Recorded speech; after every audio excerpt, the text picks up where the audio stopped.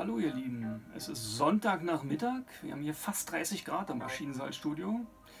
Trotzdem sind wir fleißig und arbeiten gerade an einem neuen Song für ein neues Projekt.